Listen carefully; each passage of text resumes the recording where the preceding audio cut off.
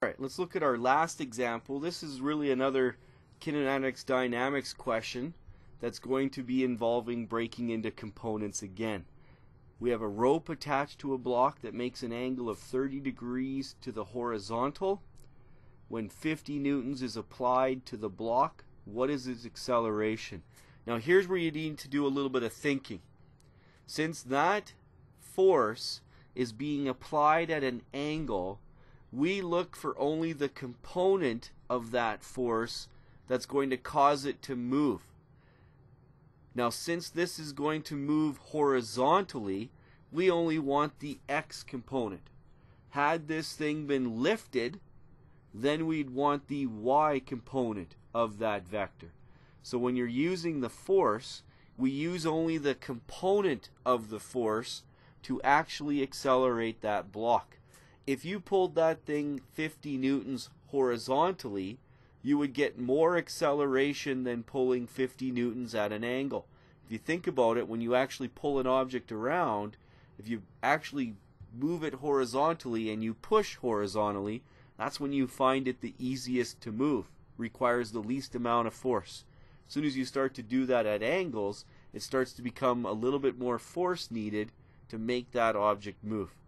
Because this is frictionless, I do not have to worry about any coefficient of friction or any opposing force. So all I need to do to figure out its acceleration, well, first of all, let's list everything we know here. We have an applied force here of 50.0 newtons, and this is at an angle of 30 degrees.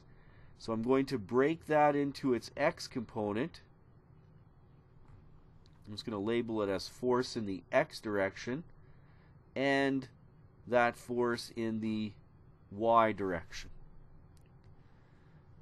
What I'm going to want, because this thing moves horizontally, I'm going to eventually want that x component. I also know the mass of the block. It's 10.0 kilograms. And I'm looking for its acceleration. So I already know that force equals ma. So if I can find the force, I can find the acceleration.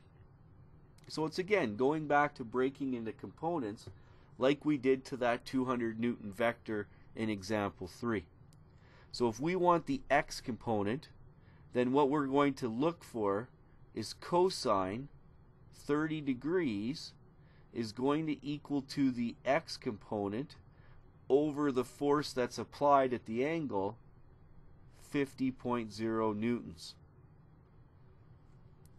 So the x component then, the horizontal component, will be a little bit less. 50 times the cos of 30 degrees.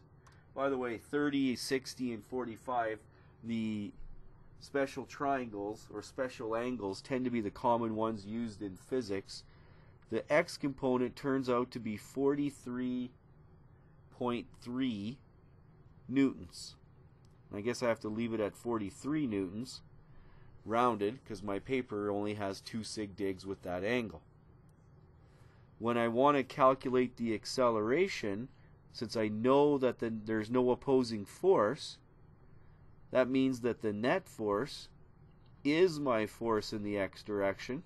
It's the only force I have that's causing this acceleration. And that's going to be equal to ma.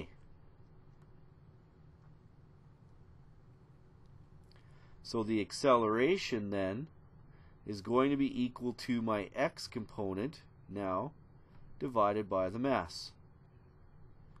I just worked that out. Still keeping the exact value on my calculator divide by 10.0 kilograms and your acceleration in this example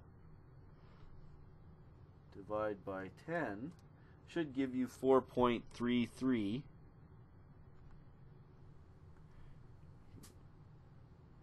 or 4.3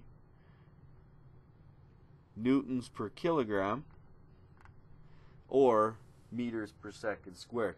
I notice my answer isn't to the right significant digits. My angle's to only two sig digs. My answer should be only to 2 sig digs. So we have a slightly less acceleration because only 43 newtons of the 50 is going to actually accelerate the block.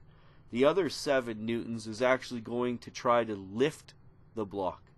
But the block doesn't lift. It doesn't say it moves up at all. It says it moves along the horizontal in this case. So you find the component. And that's another very important thing that when you read the question, you got to say to yourself, which direction is this force causing it to move, in the x or the y, and find that appropriate component. So there's some practice on working with two-dimensional vectors. If you find this lesson quite difficult, which a lot of students do, don't worry. You're going to get lots of practice throughout Physics 30 practicing two-dimensional vectors. It's not a skill that people have mastered by the time they hit Physics 30, but you have the expectation that you've worked with sine law, cosine law, right triangles, found x and y components at the 20 level. We're going to continue practicing it with our new concepts in 30, and hopefully you get better and better and better as we go through Physics 30.